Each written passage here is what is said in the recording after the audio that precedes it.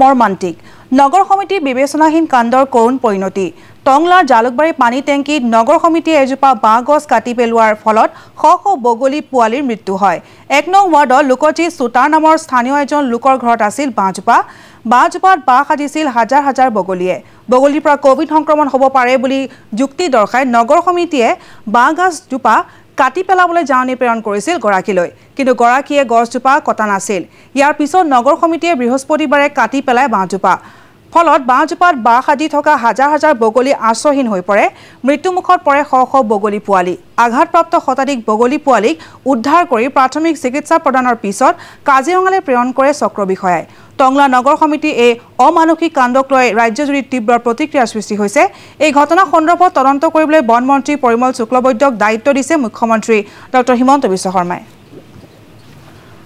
আৰু এই দৃশ্য আমি দেখুৱাইছোঁ নগৰ সমিতিৰ বিবেচনাহীন কাণ্ডৰ কৰুণ পৰিণতি দেখিবলৈ পোৱা গৈছে টংলাৰ জালুকবাৰী পানী টেংকীত নগৰ সমিতিয়ে এজোপা বাঁহ গছ কাটি পেলোৱাৰ ফলত এইদৰে শ শ বগলীৰ পোৱালীৰ মৃত্যুমুখত পৰিছে। এক নং ৱাৰ্ডৰ লোকজিত চুটাৰ নামৰ স্থানীয় এজন লোকৰ ঘৰত আছিল এই বাঁহজোপা। বাঁহজোপাত বাঁহ সাজিছিল হাজাৰ হাজাৰ বগলীয়ে।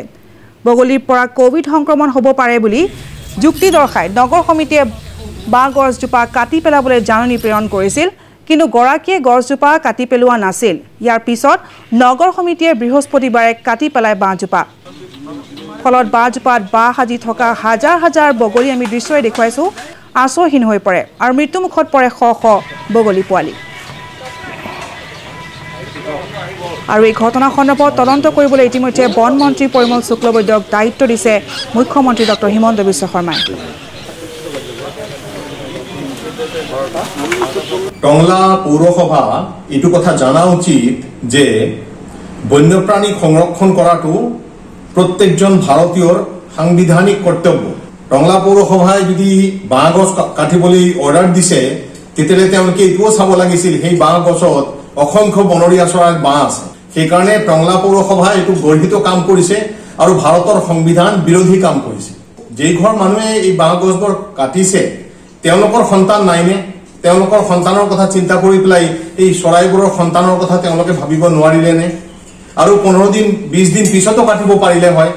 বাচ্ছা লৈ যেতিয়া ওলাই গ'ল হয় চৰাইকেইটা আমি নেচাৰ্ছ বেকানি ইয়াক নিন্দা কৰিছো আৰু মই বিচাৰিছো আমি বিচাৰিছো যে প্ৰশাসনে সেইটো উচিত যাতে ব্যৱস্থা লয়। আৰু টংলা পৌৰসভাৰ যেই অফিচাৰে এই অৰ্ডাৰ দিছে এই কামটো কৰিবলৈ উদ্বুদ্ধ কৰিছে আৰু যিসকলে কৰিছে তেওঁলোকৰ বিৰুদ্ধে শাস্তিমূলক ব্যৱস্থা লোৱা উচিত বুলি মই ভাবোঁ।